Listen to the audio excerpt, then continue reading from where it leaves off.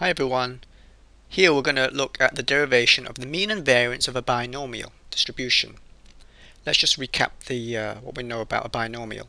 If x follows a binomial distribution with n number of trials and probability of success in each trial being p, then we know that the mean of the binomial is np and the variance of a binomial is np times 1 minus p or in school you might have seen this written down as np times q. Now there I'm going to talk about two ways of uh, proving this, the mean and the variance.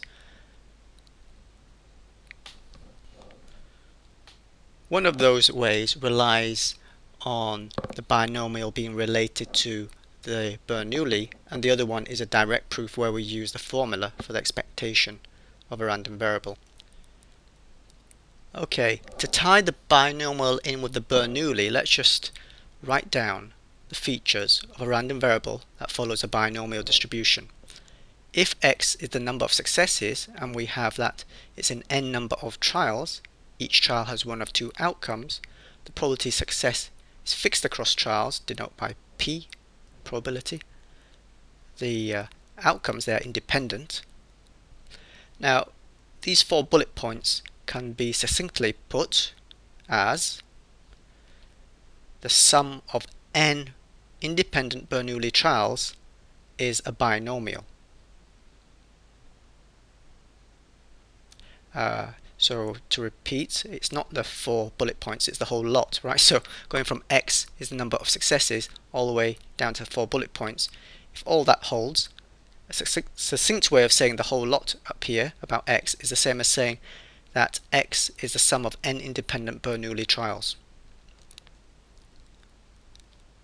Knowing this, we'll be able to easily find the mean and the variance of a binomial.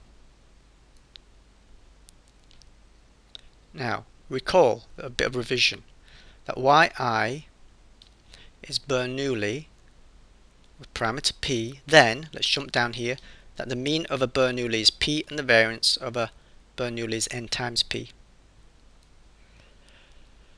Now a binomial in terms of a Bernoulli can be written like this.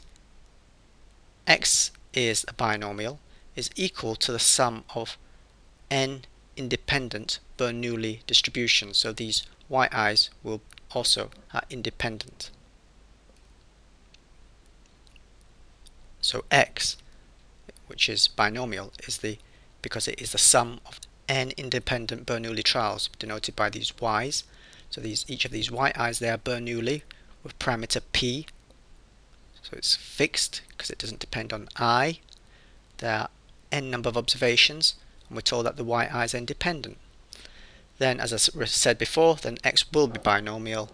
Uh, expected value of x will be np, the variance of x will be np 1 minus p and we're going to prove that.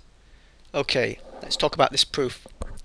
It's We need this equation which links the binomial x to the sum of n independent Bernoullis on the right hand side. Okay, to find the mean of x, I take the expectation of the x, so I take the expectation of stuff on the right hand side, that gives me this line. Now we know from the expectation operator that the expected value of a sum is the sum of the expectations. In other words, take the expectation through the brackets. So this is what we have. But let's look at this one. Expected value of y1, well that's, that's saying what is the mean of a Bernoulli.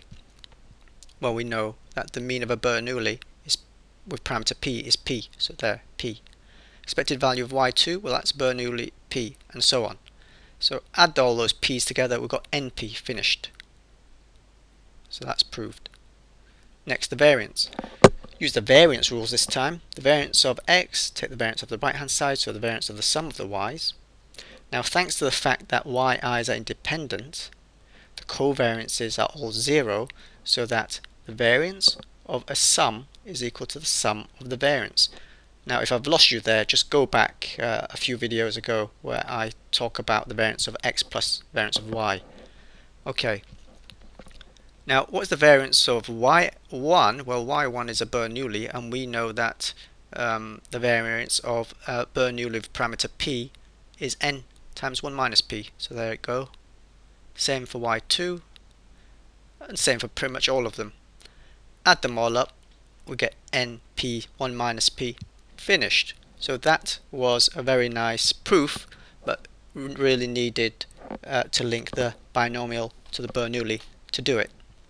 Suppose you know you're not interested to link the binomial to the Bernoulli.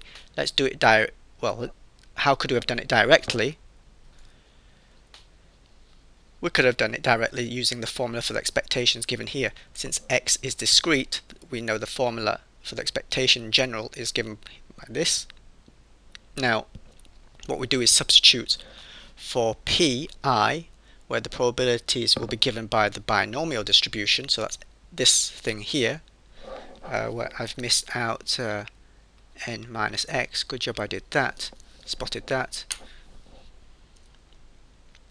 And then you can see dot dot dot dot dot, how many dots do I need? I made pages and pages of dots. I'll get to n times p, which is the answer. Clearly this is going to be a lot more messy and it's going to take, uh, it's less neat. So, um, so there you go. So you can see why that if I can link the binomial to Bernoulli, that my proof is, my life is made much simpler basically. So I've set out to achieve what I started to do, um, but let's finish off by um, seeing if we can get something more out of these results. You know, what does it mean to say the expected value of x is np and the variance is np 1 minus p? Well, recall that p is between 0 and 1. Let's look at what the mean and variance is in the extreme cases, where p is 0 and when p is 1. When p is 0, the expected value of x is going to be n times p, which is n times 0 is 0 and the variance of x in that case variance of x will be n times 0 times 1 so that's going to be 0 now what does that mean? Well look if p is 0 it means that each trial is going to be definitely a failure. So if we have n of the number of those trials what's the number we, ex, we, ex, we will we get uh, to be a success? None. So that's what this is saying. It means on this is saying that uh, the expected value or the mean result of the binomial be zero number of successes. Variance of x is zero, that means it tells me there is absolutely no variability uh, in this outcome, that x is zero. So in other words, x is zero with 100% certainty.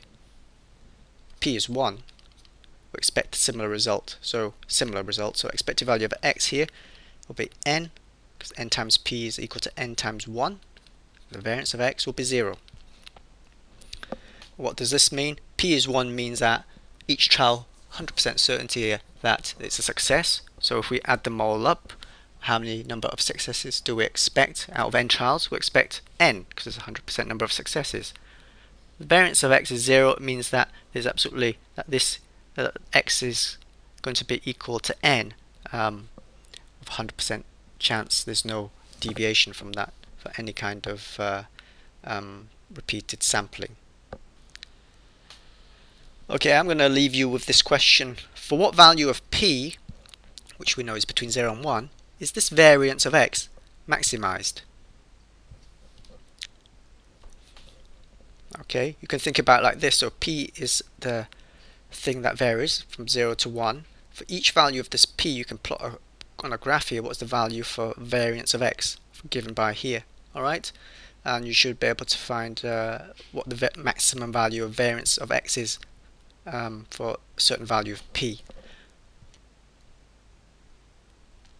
If you want a hint, note that uh, this expression here looks like a quadratic, doesn't it? Quadratic in p. Phew, so uh, finally done. So let's get out of here. So my name is Phil and I'm your statistics mentor.